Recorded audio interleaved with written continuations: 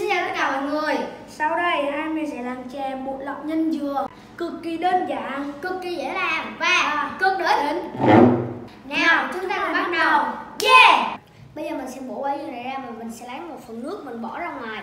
Và mình sẽ lấy một cái muỗng để mình cạo cái phần cơm dừa bên trong ra. Bây giờ mình sẽ nạo cái phần này ra lấy cái phần này để phần mình bên sẽ trong, mình lọc. sẽ rửa qua nước sạch thì nó sẽ được như thế này bây giờ mình sẽ lấy con dao mình sẽ cắt nhỏ đi sau đó mình sẽ cắt thành những cái khối vuông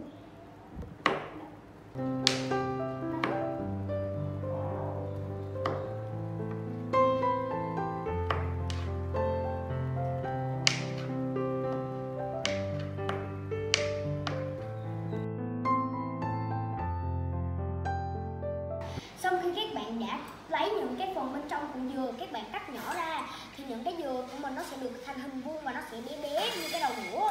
Nguyên liệu của mình còn có là bột năng và đường. Thì lúc mà mình làm bột năng mình cho cái này vào, thì nó sẽ ra được, sau đó mình sẽ bỏ vô nước đường, thì nó sẽ ngọt hơn. Để cho mình có phần nước dẫn, mình chuẩn bị hai bát nước màu đỏ với màu xanh. Mình có thể sử dụng củ dền hoặc là màu xanh từ lá dứa để mình làm ra những cái màu tím với lại màu xanh thật là đẹp bây giờ mình sẽ đi nấu sôi những cái nước này rồi tí nữa mình sẽ trộn chung với bột năng bây giờ nước này mình đã nấu sôi rồi nên là các bạn hãy cẩn thận chứ không thì sẽ bị bỏng tay. Bây giờ mình sẽ sử dụng màu trắng màu xanh và màu đỏ. Bây giờ mình sẽ múc nước ra ngoài. Mình sẽ đổ lên bột rồi mình sẽ nhào cho nó thành một cái cục bột. Rồi. Bây giờ mình sẽ nhào nó thành một cái cục bột trong lúc nhào bột các bạn sẽ phải nhào nhanh tay lên thì bột nó sẽ dẻo được như này. chứ còn nếu như mà các bạn làm nó không có được thì bột nó sẽ nó sẽ bị thành đóng cục, thành những cái cục như vậy.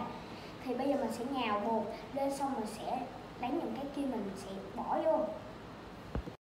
Đây là dừa hồi nãy mình đã cắt. Bây giờ mình sẽ xé một ít bột ra và mình sẽ bỏ dừa vô trong đây. Thì mình sẽ nặn thành một cái cục thành hình tròn. Thì lúc đó các bạn nhìn nó sẽ đẹp hơn và ăn nó sẽ ngon hơn. Giờ mình đã hoàn thành xong phần nặn bột rồi. Bây giờ hai đứa mình sẽ đi vào bếp. Let's go! Bây giờ mình sẽ nấu nước sôi. Các bạn, khi nước sôi các bạn bỏ đường vô Nêm nếm vừa ăn là được.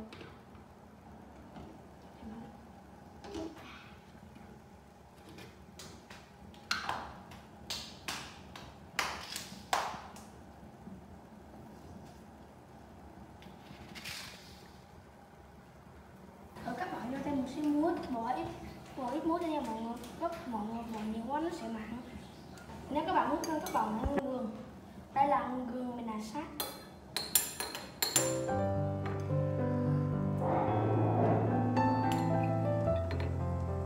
Trong khi chờ cái nước này sôi thì bây giờ mình sẽ chế biến nước cốt dừa.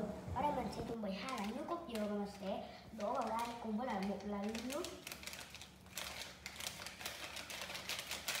Sau khi đã bỏ xong bây giờ mình sẽ bỏ một ly nước vào.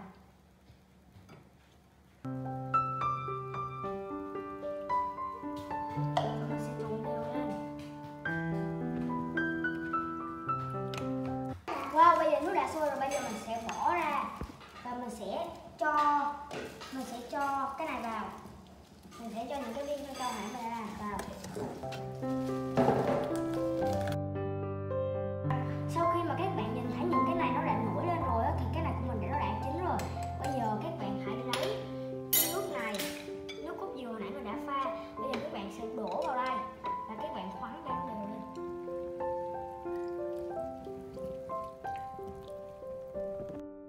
Sẽ bật thêm cái bếp nữa. Và mình sẽ rang động thì tí nữa nó sẽ ăn, nó sẽ ngon hơn.